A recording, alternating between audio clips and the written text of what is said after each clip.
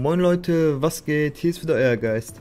In dem heutigen Video möchte ich euch zwei neue Hidden Spots mit Jet auf der Karte Split zeigen.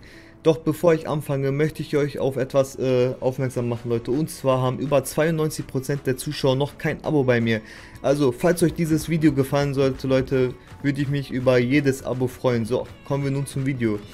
Ihr geht auf der Karte Split mit Jet auf A-Heaven dann könnt ihr hier oben drauf und zwar nehmt ihr hier euren Anlauf Leute.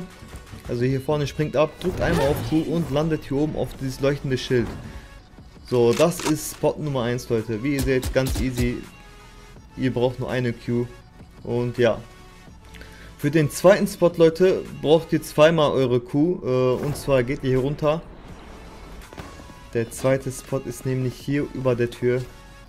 Auch ein sehr guter Spot womit keiner rechnet Ihr springt ab zweimal und landet wieder auf dieses leuchtende Schild.